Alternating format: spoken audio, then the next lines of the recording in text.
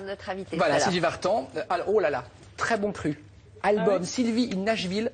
Franchement, c'est à mon avis, Roland, je parle Ah, souvent, ouais. Roland, grand Roland fan. est fan. Ah, Un des I meilleurs. like it, I love it. I Like It, I Love It, donc enregistré à Nashville dans le Tennessee avec des vrais musiciens, donc c'est ça rock, euh, un peu de country derrière, c'est vraiment euh, album très souriant, très optimiste, très enthousiaste, qui donnera lieu à une scène évidemment avec un spectacle comme aime les faire Sylvie, c'est-à-dire avec beaucoup de, de chorégraphie, de musique, de lumière. Voilà. Alexandre, bonjour.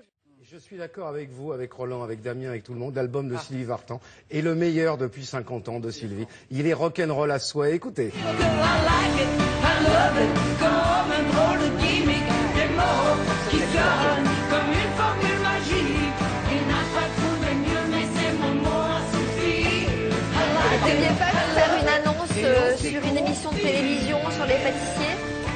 À l'heure, à la fin de l'émission.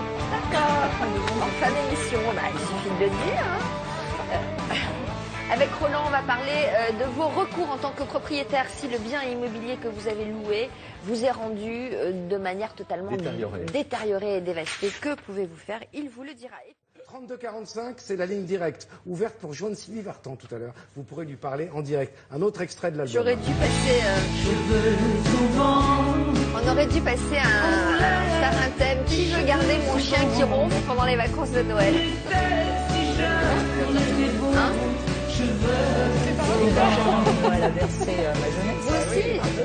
C'est la star du plateau ce matin. Et puis Christine Bravo nous reviendra aussi pour euh, de sa sélection littéraire. Non, Euh, Ce pardon, soir, je serai là. qu'est-ce qu'il en prend là tout d'un coup Le docteur Bizet voulait nous faire une chorégraphie. Mais j'ai 10 ans.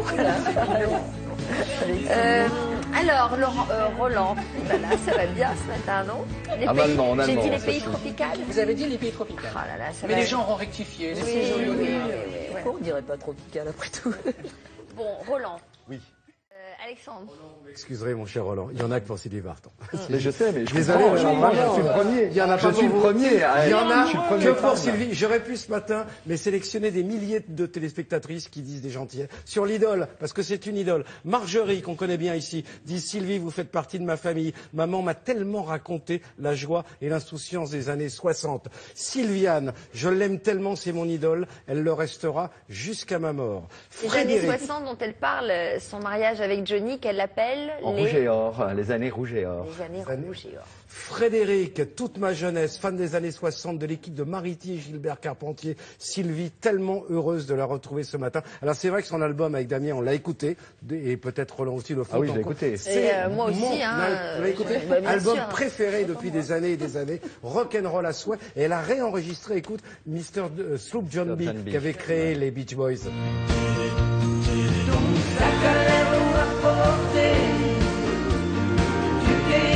T'es bien débrouillé, mais as-tu gardé les mains propres, dit Mr. John B. Alors vous me dites Damien que les Français vont adorer cet album car on retrouve Sylvie, la Sylvie des, des débuts. Oui, absolument. Euh, donc, elle est allée les retourner, Sylvie, 50 ans après à dire la Nashville. Sylvie d'avant, mais j'aurais pu. Ça, on vous la fait Sylvie jamais, Nashville. celle-là. Euh, Sylvie est retournée à Nashville, dans le Tennessee, donc berceau de la country music, mais également du rock and roll, pour enregistrer cet album. Et c'est vrai que ça faisait six ans, Sylvie, on l'avait vue à Playel, au Châtelet, donc elle avait fait des récitals en grande robe noire, longue, etc. Et là, je crois qu'elle avait envie de, bah, de s'éclater à nouveau, de refaire euh, des albums qui se prêteront à la scène. Et là, évidemment, on imagine bien que dans quelques mois, une scène, une tournée va arriver. Alors, je vous propose un premier extrait, ça s'appelle I Like It, I Love It. Et nous, we love it. Regardez.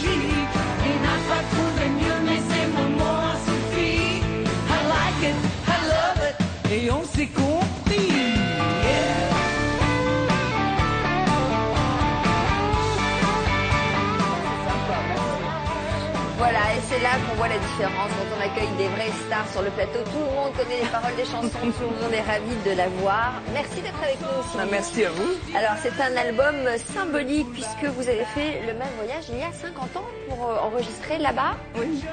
Et alors? Mais alors, euh, 50 ans ça- après Nashville a changé, mais enfin, la musique est toujours euh, là et toujours euh, au top. Formidable. Alors, on, vous connaît un peu, Sylvie. On vous a vu à plusieurs reprises pour différentes promos d'albums précédents. Je vous ai personnellement rarement vu aussi enthousiaste pour cet album. Non, mais c'est Mais vrai, vous êtes je veux dire que la, la musique euh, aide. Elle est euh, dynamique, euh, up tempo, et c'est ce que je recherchais en fait. Parce qu'il y a un an ou deux, vous étiez un peu en recherche d'inspiration. On peut dire ça comme ça. Vous saviez pas trop C'est quelle couleur compliqué donner. de trouver Ah oui. une couleur d'album, des, des auteurs, compositeurs, enfin les, les auteurs plus facilement, les compositeurs.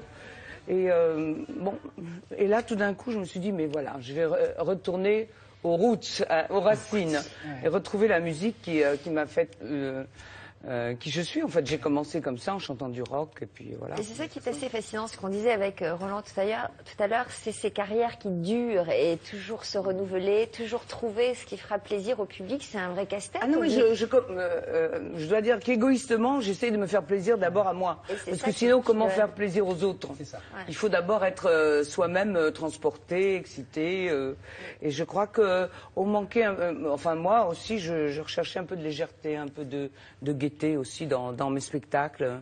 Et alors à Nashville, c'est de la musique du matin au soir. Tout Ah le oui. monde pense musique. Tout le monde pense Dans musique. tous les magasins, vous achetez des, un pantalon, il y a de la musique, bah ça oui, chante, c'est enfin fou. c'est fou. hein. Oui, oui. C'est c'est euh, c'est vraiment la capitale de la musique et euh, il y a des groupes extraordinaires dans, dans les rues, dans les on achète ouais, voilà un pantalon, on vend des Est-ce guitares. que, Ah, est-ce que ça évolue la musique là-bas ou c'est toujours euh, la même country euh, Mais ce qu'il y a, ce que j'aime là-bas, c'est que, il y a- enfin, là-bas, euh, c'est que la country rock, c'est toujours quand même un, euh, une musique mélodique. Il y a des mélodies, on peut rechanter, chanter les chansons. Et je crois que c'est quand même le, le, le propre d'une chanson de, de s'en souvenir, de pouvoir qu'elle vous accompagne.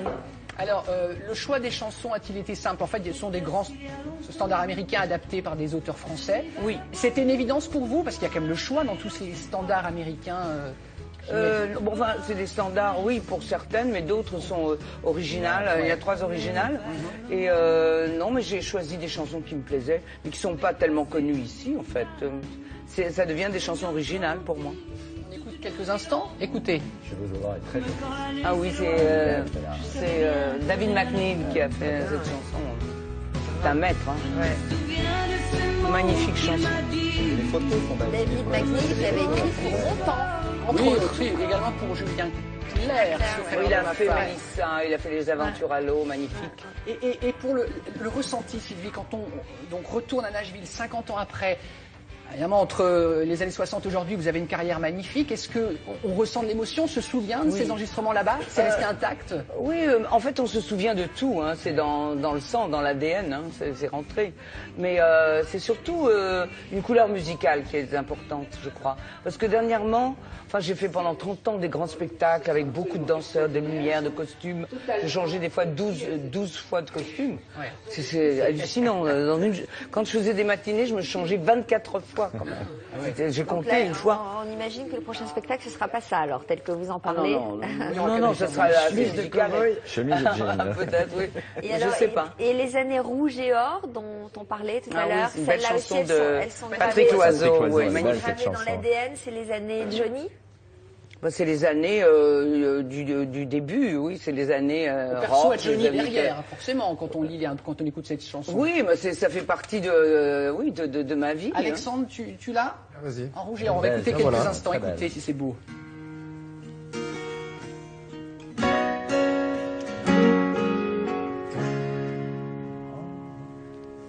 En rouge et or, je nous revois, léger et grave à la fois.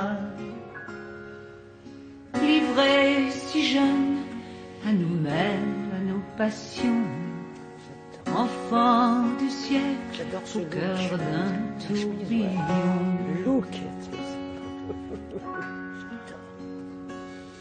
Tant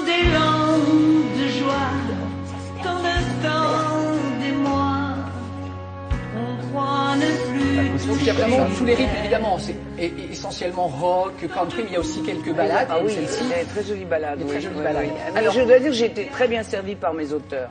Que vous avez Euh, choisi, vous Ah, bien connaissez sûr, de oui. longue date. David McNeil, euh, qui est un maître, qui euh, vraiment qui a écrit Cheveux au vent et, et dans le Bayou, et puis Eric Chemouni avec lequel je travaille toujours et qui est vraiment très talentueux. Ouais.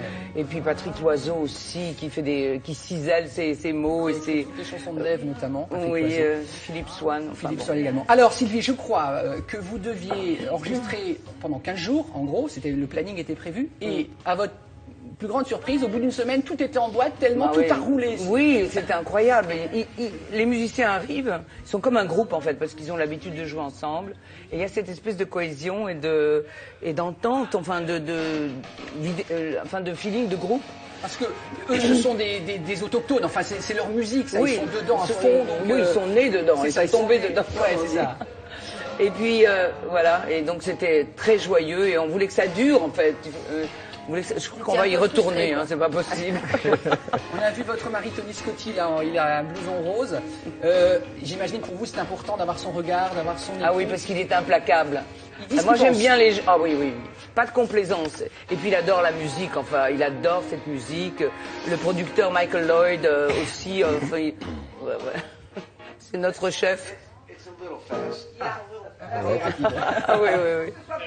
Bah, J'imagine dans vos métiers, Sylvie, que vous vous entourez de gens qui vous disent la vérité, des proches qui, voilà, qui ne sont Oui, pas mais vous savez, c'est bien euh, d'avoir quelqu'un en même temps qui, qui a le même regard et qui a le- les mêmes- la même échelle de valeur. Parce que d'abord, euh, on aime les mêmes choses, on aime la même musique.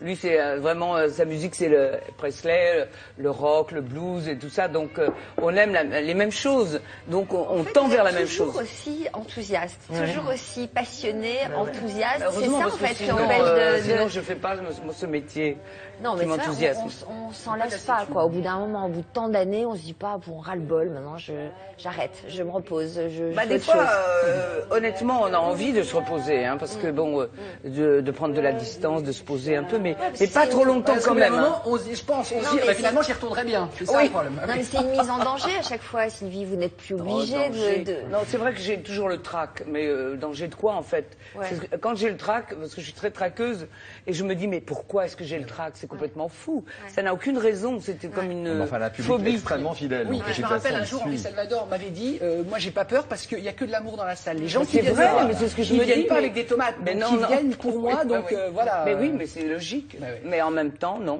En fait, c'est un mélange d'impatience et, et d'angoisse, de l'envie de bien faire, et puis de vraiment de, de, de- de ressentir à fond ce qu'on fait. Donc la scène est prévue pour quand? Alors, euh, une avant-première le, le 8 euh, à Anguin, donc, au casino d'Anguin, Oui, euh, février. Ah oui, donc c'est demain, quoi. C'est Oui, c'est demain, oui. Pardon de vous, je dois faire Et vous, peur. vous allez, vous allez aller répéter à- aux États-Unis?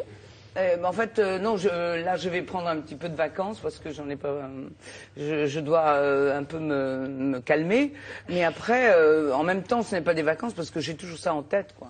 Euh, mon ordre, le tour du chant, les chansons que je vais faire, que je vais euh, reprendre, que je.